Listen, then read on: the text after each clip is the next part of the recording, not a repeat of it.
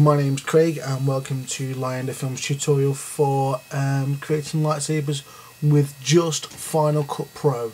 No other plugins, no other programs, just simply Final Cut Pro. Okay, uh, we'll start very quickly. I've never done a tutorial before, so please bear with me.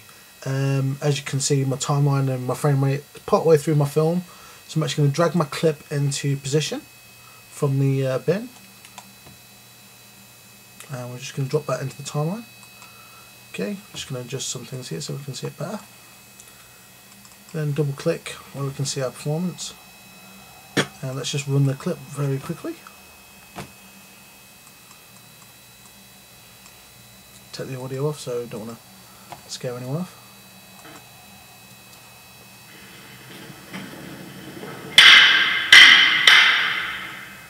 Okay we can see a really really really simple lightsaber battle there um, with uh, wooden poles that are with metal handles which actually only cost us about two pounds. Um, so first of all we've got the clip selected and we now need to select a colour for our lightsaber. Well the guy with the dreadlocks um, I think we're actually going to use a, a, red lightsaber.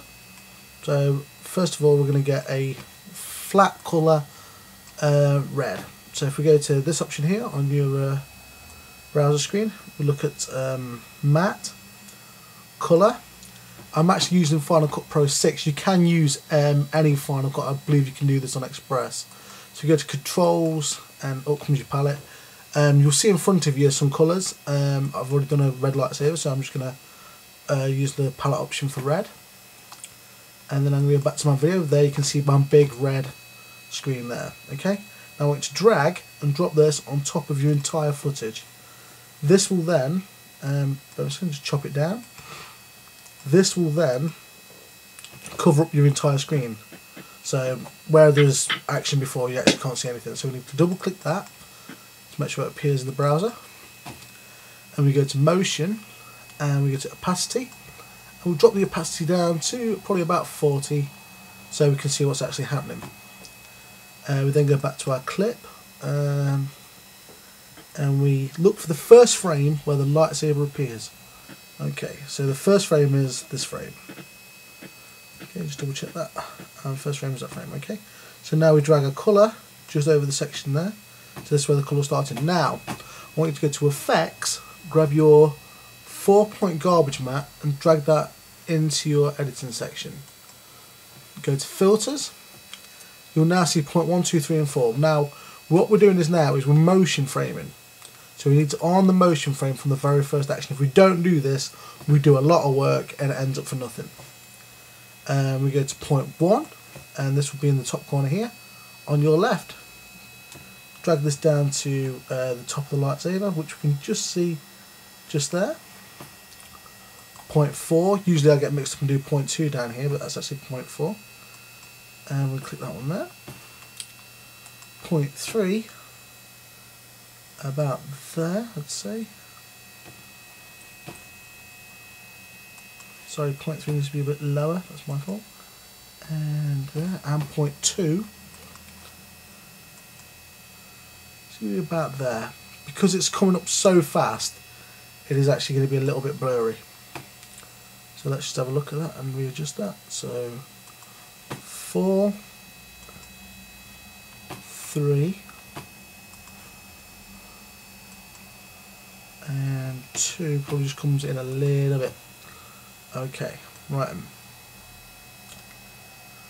You just see the waft there. Alright, okay, so that's our first frame, right? So we're going to click a cursor key to the right, and you see how fast that moves, okay?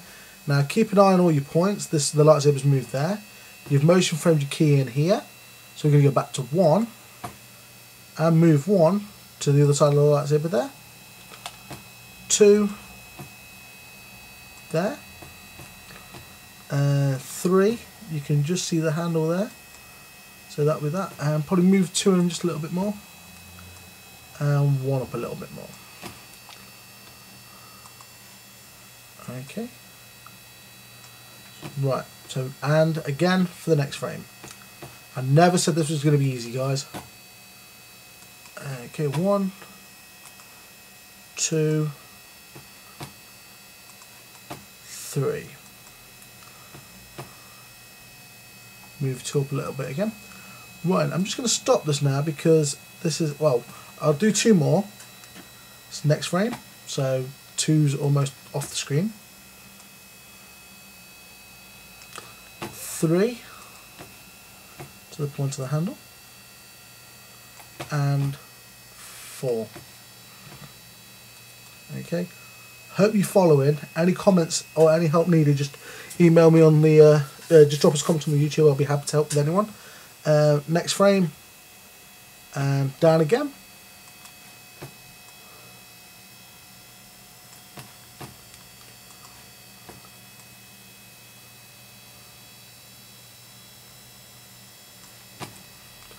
Two. Right. As you can imagine, this is frame by frame, so this is like 24 frames a second.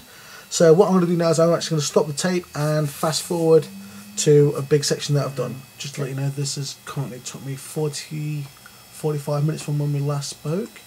Uh, I'll just show you the uh, what we've been doing in the meantime. If we go through the uh, the timeline, and you can see that I've motion framed every single frame um, with the red lightsaber.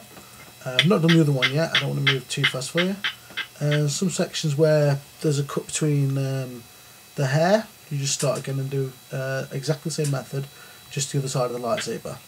Okay, now if we come down to this part here, this is our lightsaber. I'm just going to move the first two, the, the two segments that are cut off, which were between uh, between my hair and uh, the other side of the lightsaber. I'm just going to move them up three. Okay, now these two, um, highlight, right click, copy, and we're going to paste them here. Okay, I'm going to copy and them back over exactly the same time on top. Now I'm going to paste again, so you've now got three lots. Okay, bring these down, I don't need to go three, I need to go two, and we'll do the same to them. Okay, so copy, paste, here on top. And they have to be exactly on top. Okay? Alright, this is where the magic happens. And you can actually double click on your colour at any time you wish to change the colour of the lightsaber. Um, but we're happy with red at the moment. Right so we're going to double click the first one. And you can see this in our preview screen which is just the colour itself. We need to go to motion. We need to turn the opacity back up.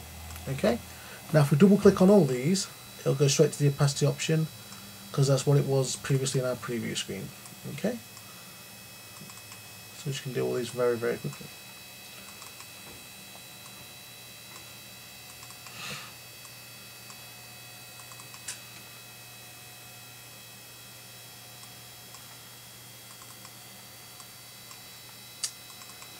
And just three more.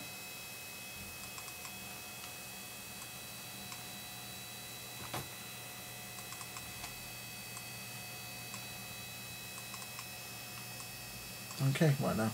Back to the first one. Now we need to go to filters. And we go to feather. And pass, we've got feather, choke and smooth. This is like the blurring around the sabre. And you'll see why we've got three in just a second. So the first one, the bottom one, we need to go minus 29. Okay. The second one, we go to feather plus 29 and then this one, the top one, we need to go to feather about four. Okay. Now while we're on this top one, this top one here, we double click and we go to colours, control sorry, and colour and then we go to white. That's because the lightsaber emits white. It's uh, white and red. Okay. And then we do the same again for these. Okay, and that's um, all 12 pieces done. Um, Again, if there is anything unclear about the tutorial, please let me know. Uh, comment me, ask me. This is my first tutorial. I will help you as much as I can. Um, right, so we've clicked um, Command and R, or Alt and R on whichever unit you're using, and to render the item. So you can see that's just going to be done in a few seconds. And then we will have a look at what we have. Okay, and... Uh, this is the let's see what we have okay. Let's see that again. Okay and there you have it. A lightsaber